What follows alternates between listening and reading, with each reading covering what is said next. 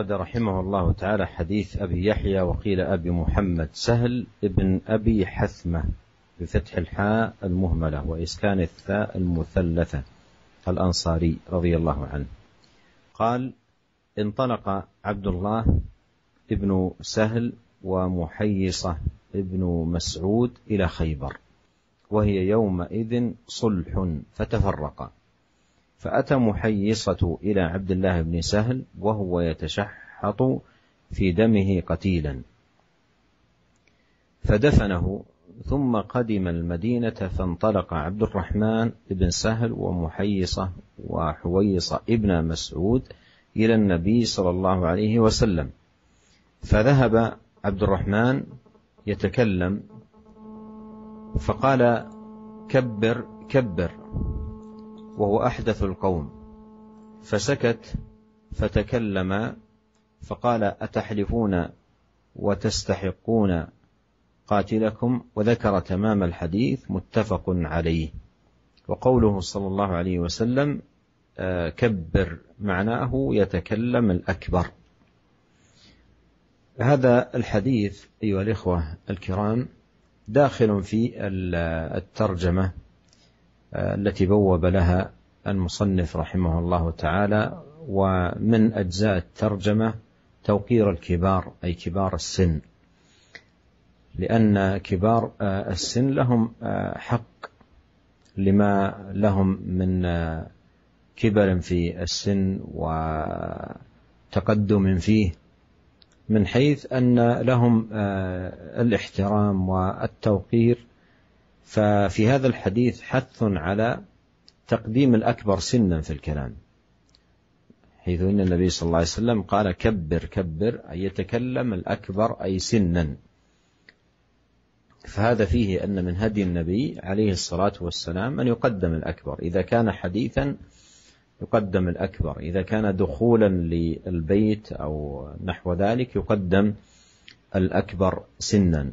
ففي ذلكم توقير الكبير واحترامه.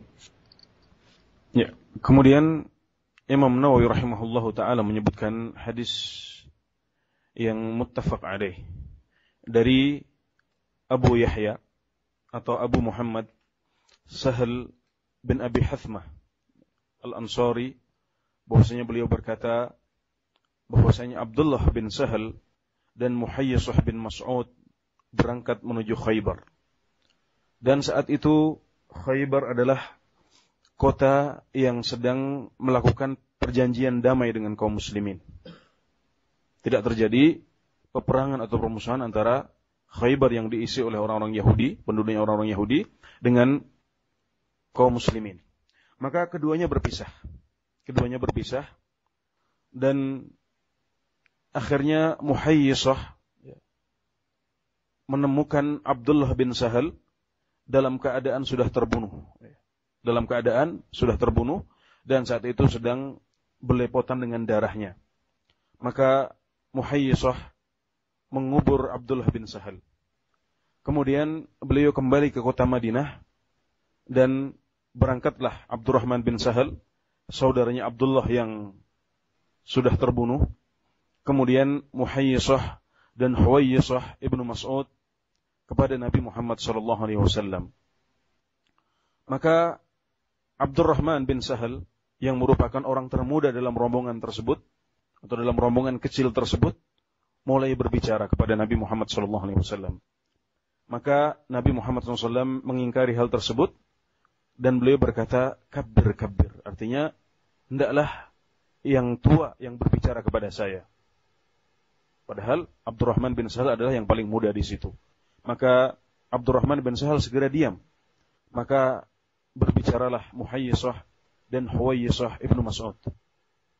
Keduanya berkata, kemudian keduanya berbicara menjelaskan apa yang telah terjadi kepada Rasulullah SAW dan Rasulullah berkata kepada mereka, apakah kalian mau bersumpah sehingga kalian berhak untuk menerima hak orang yang telah terbunuh di antara kalian.